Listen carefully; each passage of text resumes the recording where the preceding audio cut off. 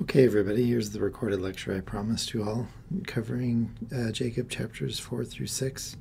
And in, re- in, in reality, we're going to be essentially focusing on Jacob chapter 5 and the allegory of the olive tree, um, which was um, an allegory written originally by a prophet named Zenos. And Jacob quotes Zenos quite a bit.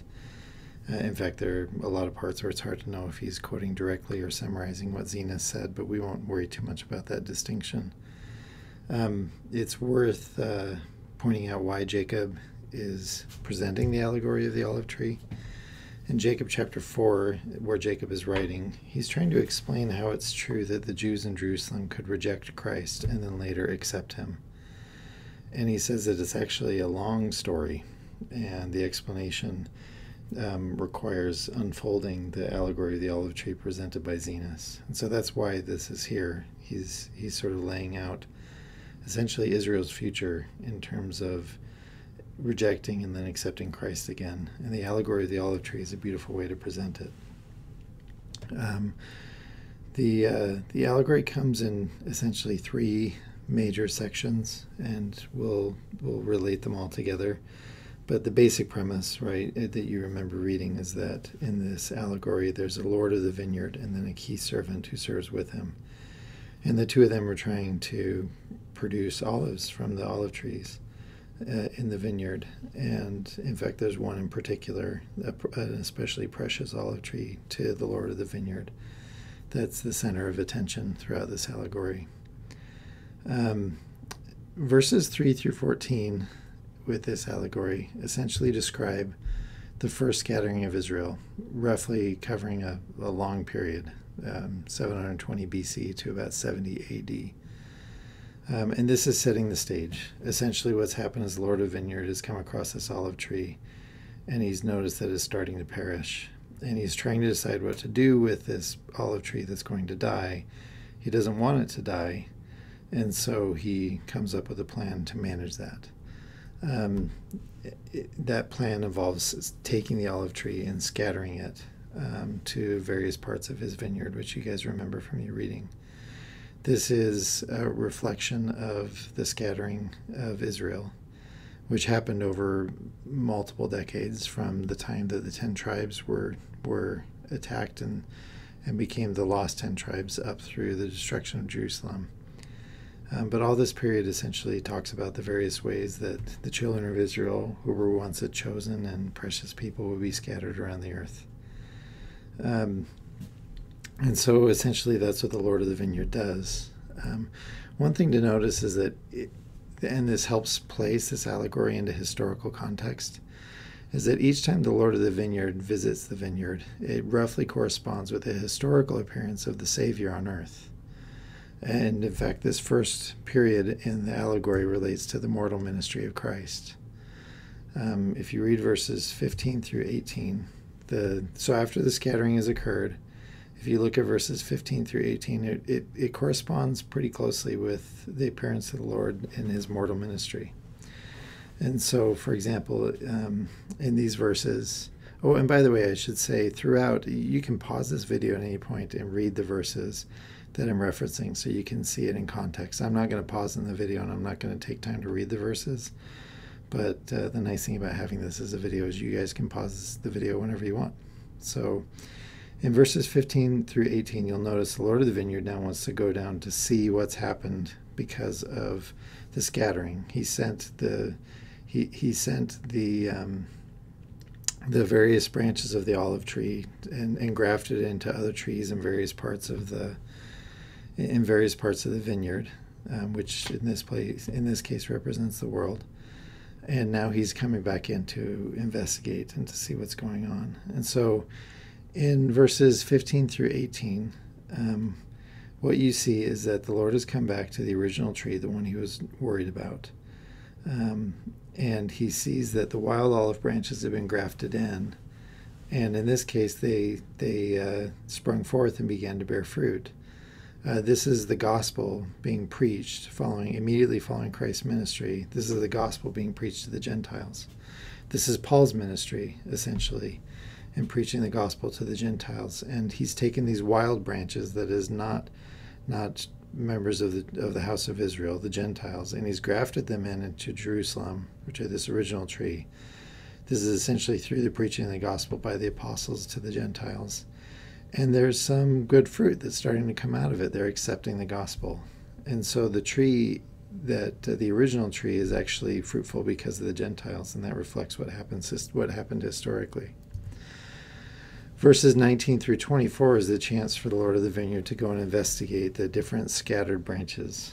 And uh, in these verses, you'll notice that there are three scattered branches planted in poor ground that sought to that that, that brought forth good fruit.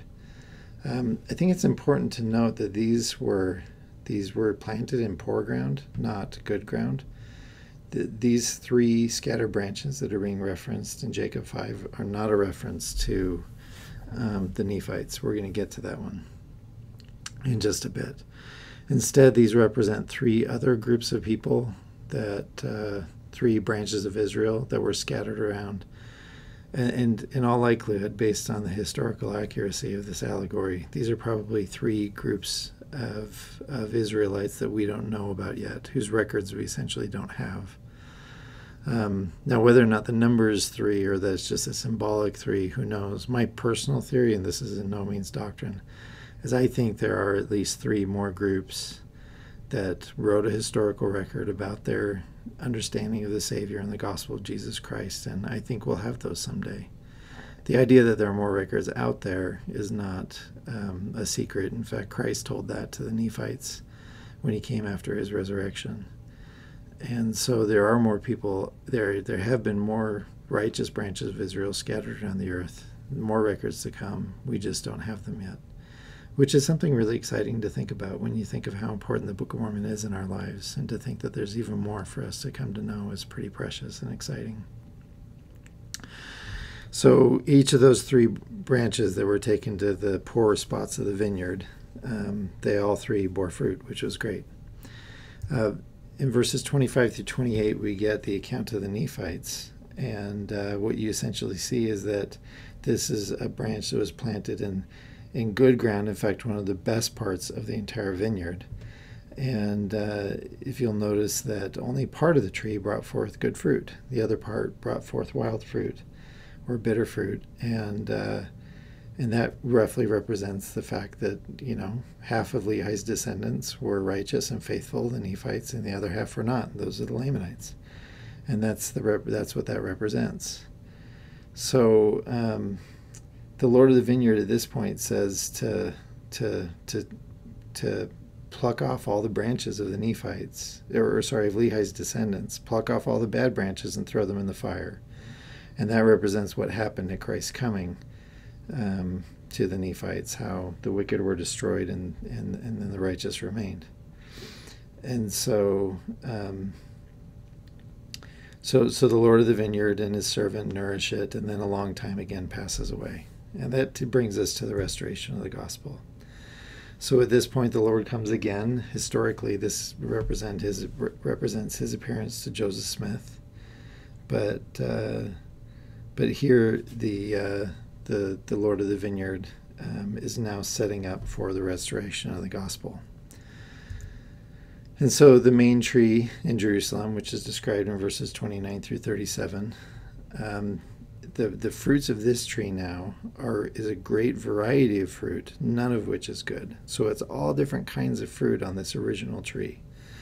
But none of that fruit is good anymore. And this is a symbol representing the apostasy and how out of the apostasy sprung all these different beliefs about God and Jesus Christ, and how from all of these different beliefs, none of them truly represent the restored gospel. None of them represent accurately the gospel of Jesus Christ.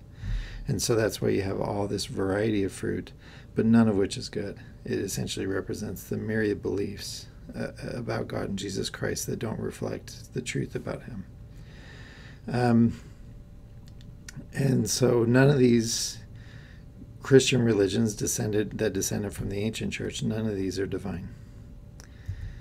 Verses 38 through 40 takes us to those takes us to those scattered branches, the ones um, that were planted in poor ground. And what you see in those is that all three of them have become bad. They've all become corrupt. from the first to the to the third, and uh, and the Lord of the vineyard is sad because all these trees are now gone, and the wild fruit has taken over.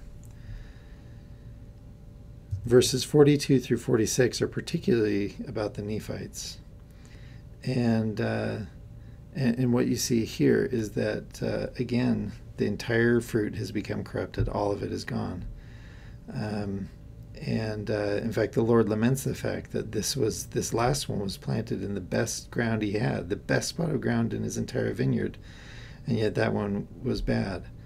Um, or had gone bad. And so this this description, when the Lord comes again, that is to say, the restoration when He came uh, to talk to Jesus Christ, allegorically here in, in, in, the parable of the of the of the olive tree, the Lord has come back and He's found all nothing but corruption. Essentially, He's found that. Uh, none of these efforts have, are, are now yielding fruit. They've, they've all been overcome. And that represents the, the, the effect of the apostasy on the earth. Um, these are interesting verses in particular because, and what amazes me is how detailed this allegory is. And I want you to remember the context of this. This is a, an allegory by a prophet, an Old Testament prophet named Zenos, being recounted now by Jacob. Um, this is important because Jacob is laying out, and through Zenos, they're, they're, they're laying out essentially the history of the earth to come. And also, it turns out a history that's been, but one that Jacob didn't know about. If you if you pause for a minute and read verse 44, you'll notice that in that verse there's a reference to how the tree that was planted in the best spot of the vineyard, that is to say the Nephites, that tree is occupying a spot that had been cumbered by another tree before. In verse 44, the Lord of the vineyard says, Thou beholdest that I also cut down that which cumbered this spot of ground, that I meant that I might plant this tree in the stead thereof. So he's saying he put the Nephites into the promised land after having cut off another group of people that were already there. This is a reference to the Jaredites. Um, the Jaredites were cut off because they had all become wicked, and the Lord brought in Lehi and his family to take their place. Now, this is a really interesting and important observation because Jacob didn't know about the Jaredites at the time that he was relating the prophecy of Zenos here. So Zenos, in his prophecy, clearly made reference to the Jaredites. Jacob quoted that reference to the Jaredites, not knowing at the time that, the, that it specifically referenced the Jaredites. The Nephites wouldn't yet discover the existence of the Jaredites for for for a while yet, and uh, for a couple hundred years actually. And so this is this is a really fascinating and important reference um, because it shows the, the, historical detail of it, of the allegory of the olive tree. You know, it's it's good to pause here and call attention to verses 41 and then 47 through 48. In 41, the Lord says, it, it, the, the verse says, It came to pass that the Lord of the vineyard wept and said unto the servant, What could I have done more for my vineyard? and skipping ahead to 47. But what could I have done more in my vineyard? Have I slackened my hand that I have not nourished it? Nay, I have nourished it, and I have digged about it, and I have pruned it, and I have dunged it, and I have stretched forth mine hand almost all the day long. And the end draweth nigh, and it grieveth me that I should hew down all the trees of my vineyard and cast them into the fire that they should be burned. Who is it that has corrupted my vineyard? It's really interesting that he asked the question about who corrupted his vineyard. That is to say, this wasn't just a natural process. The Lord of the vineyard had done all he could to, to make his vineyard fruitful, and yet it became corrupted. And he specifically references that it, that it was corrupted by people, not just by natural circumstances. And this is where the Lord, this is where the Lord's servant replies, and he says, Is it not the loftiness of thy vineyard? A reference to pride. Have not the branches thereof overcome the roots, which are good? And because the branches have overcome the roots thereof, behold, they grew faster than the strength of the roots, taking strength unto themselves. Behold, I say, is not this the cause that thy trees, that the trees of thy vineyard have become corrupted? It'll be important to understand what the roots symbolize versus the branches. The branches are the living descendants of Israel at the time. Um, at this point, the allegory. The roots are a reference to spiritual heritage. They're a reference to the scriptures and the prophets and the promises made to Abraham, Isaac, and Jacob. And because of pride, Israel has rejected those things and and has has tried to go on without them essentially that is to say growing without or, or growing faster than the strength of the roots. And because of the pride of of the living descendants of Israel um, they fell into apostasy. And and this was a choice. And, and really the answer to the question about who is a reference to the adversary. It's a, it's a reference to satan who has led the children of Israel into apostasy. So 49 through 47 reference the restoration and the gathering of Israel that comes as a result of, of, Jesus Christ appearing to Joseph Smith and restoring the gospel. In fact, the servant is the one who begs the Lord of the vineyard to spare it a little longer. And the servant throughout this parable is a reference to those prophets who have been called to serve and represent Jesus Christ. And the servant is, like many prophets before, is pleading for the people on behalf of the people that the Lord will show them mercy. And the Lord says, Yea, I will spare it a little longer in verse 51, because he doesn't want to lose the trees of his vineyard. And this is when the gathering occurs. And starting in verse 52, the Lord describes a process by which those branches that were scattered to the northern parts of the vineyard, where the poor ground were, the branches that were scattered to the favored parts, specifically to the Nephites, all of those scattered branches are not going to be gathered back into the original tree. And and he's going to slowly, bit by bit, gather in the, the branches to the natural tree and bit by bit cutting off the parts of the original tree that are not bearing fruit until finally all have been grafted together. And uh, and he, and he does that knowing that it will bear good fruit again. And he says in verse 60, because I have preserved the natural branches and the roots thereof, and that I have grafted in the natural branches again into their mother tree, again describing the gathering of Israel, and have preserved the roots of their mother tree, these promises made to Abraham, Isaac, and Jacob, that perhaps the, that perhaps the trees of my vineyard may bring forth again good fruit, that I may have joy again in the fruit of my vineyard, and perhaps that I may rejoice exceedingly that I have preserved the roots and the branches of the first fruit. Again, all references to the original promises made to Israel. So he tells his servant, Go and call other servants, and we're going to labor diligently to make this plan happen. And in verse 62, Wherefore let us go and labor with our might this last time. For behold, the end draweth nigh, and this is for the last time that I shall prune my vineyard. We are in the middle of that process right now. Historically, this is where we fit in the allegory.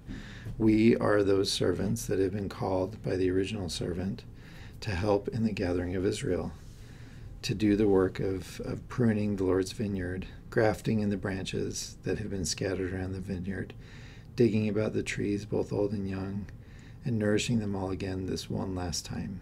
And that's our responsibility. And as as these things happen, the old branches are cleared away, cleared away, and the new ones and, and the, the the original ones are restored, and uh, and um, the and that's the the gathering of Israel is represented by that bringing of all the original branches back to the tree. So we just reference those verses in 61 and 62. And uh, 70 through 74 reference that process where the servants go and do everything that the Lord has, has, has laid out in his plan. I love 72 because it came to pass that the servants did go and labor with their mights, and the Lord of the vineyard labored also with them. And that is the truth and the promise of our of our work is that Christ is working with us. He is at our side in, in a very real way, helping us accomplish these purposes. And in laboring with all diligence, you'll see in verse 74 um, that, uh, let's see, I'm going to start in the middle. They became like unto one body. Uh, sorry, the, the trees had become again the natural fruit, and they became like unto one body, and the fruits were equal. And the Lord of the vineyard had preserved unto himself the natural fruit, which was most precious unto him from the beginning. This is what he wanted. He wanted us we are the fruit. Um, I realize I just said we're the servants, but as but our but the other place we have in this allegory is that we are the fruit. We're the good fruit that the Lord wants. He wants us. And I love what he says to his servants in the middle of verse 75 Blessed art thou, for because ye have been diligent in laboring with me in my vineyard, and have kept my commandments, and have brought unto me again the natural fruit, that my vineyard is no more corrupted, and the bad is cast away. Behold, ye shall have joy with me because of the fruit of my vineyard. And essentially, 75 through 77 describe the millennium, that last appearance of the, of the Lord, where he says in verse 76 Behold, for a long time will I lay up the fruit of my vineyard unto mine own self against the season, which speedily cometh. And for the last time I have nourished my vineyard and pruned it and dug about it and dunged it. Therefore I will lay up unto mine own self the fruit for a long time. A reference to the length of the millennium. And then in 77, he says that when the when the evil fruit comes again, then that's the end of the vineyard, um, and all of it will be burned with fire, and the, the earth will have accomplished its purposes for us. Um, the reason Jacob is relating this to his people and to us is because he wants us to understand our place in this grand plan of saving souls. I love what Jacob tells his people um, in the next chapter, in, in chapter seven, uh, chapter six, verse seven. In that verse, he's he's talking to his people, and he's also talking to us, and he says, "For behold, after ye have been nourished by the good word of God all the day long, just like the Lord had described so effusively." in, in chapter 5 saying I, i've dunged it i've pruned it i've dug about it i've done every, i've nourished it in every way i can this is what the Lord is doing for us to try to save us. And Jacob is reminding his people and us of this exact thing. He says, After you've been nourished by the good word of God all the day long, will ye bring forth evil fruit? That's the question for us. How are we going to respond? Are we going to bring forth good fruit or evil fruit? Because this is our place in all of this. And so that's the end of it. That's, um, I hope, useful to you and instructive to you. And I look forward to seeing you guys next time.